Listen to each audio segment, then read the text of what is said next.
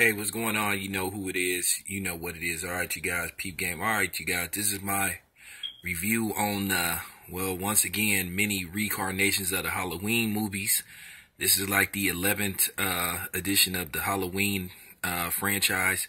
But this one goes back to old, tribute to the old. Basically, this one basically is the most accurate portrayal of Michael Myers versus, you know, Laurie Strode. Now, this movie takes place 40 years later, exactly when the first Halloween uh, got made. And John Carpenter produced this movie. This movie stars Jamie Lee Curtis, and basically the role that made her a star, Laurie Stroud. And um, I have to admit, man, I really enjoyed this movie, man. Old old school throwback to uh, you know, horror movies. You know, um, lots of killing in the movie. Um, not ex- it's violent, but not extremely violent. Like not a lot of blood and guts like uh, uh, most of these uh, horror movies is now, where basically it's just like, but it's violent, but it's not extremely violent. And they actually have the original guy that played Michael Myers in the first Halloween. They actually brought him back.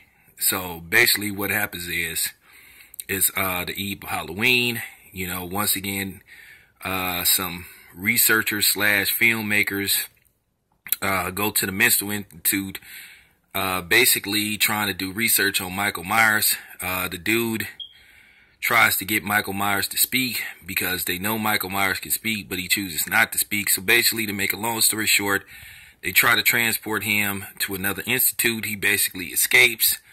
And then basically all hell breaks loose. Now, Laurie Strode is a mother and a grandmother. Basically, she has a basically difficult relationship with her daughter based off, you know, what happened to her in 1978. So she has a very difficult relationship with her daughter and her uh, granddaughter. Her granddaughter, to a certain degree, understands her, but her daughter completely sort of like cuts her off. But to make a long story short, uh, word gets out that Michael Myers escapes, and then pretty much all hell breaks loose.